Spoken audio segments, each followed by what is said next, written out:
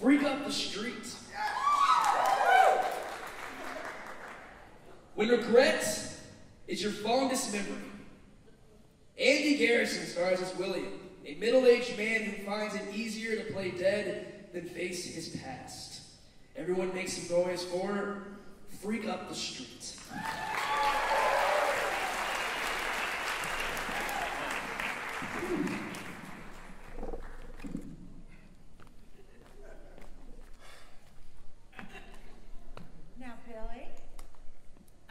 Your nosy friends to leave poor Mr. Yona alone.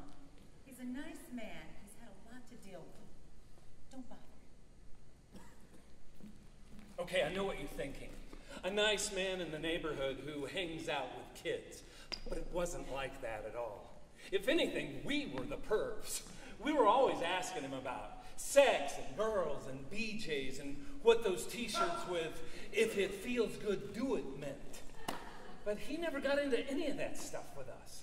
Once we asked him if he had any Playboys or pictures of naked ladies we could look at, and he brought out this book. Check out this foxy mama.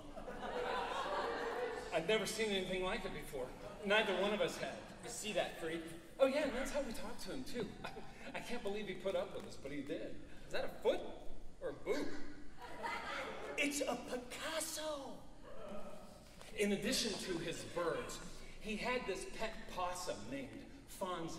And he didn't keep it in a cage or anything. He just let it run around free. This, this big, hairy, skull faced possum had the run of the place. Oh, and his house. It was so weird on the inside. You in there, freak?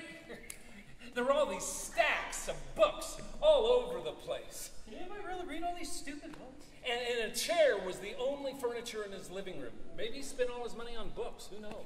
That's probably why he's such a spazoid. It's all clogged up in there. What you reading, freak? Breakfast of Champions by Kurt Vonnegut Jr. it's a tasty book, Willie, my man. Almost everything that came out of his mouth was bizarre. I remember asking him about religion once. Hey, um, do you believe in God?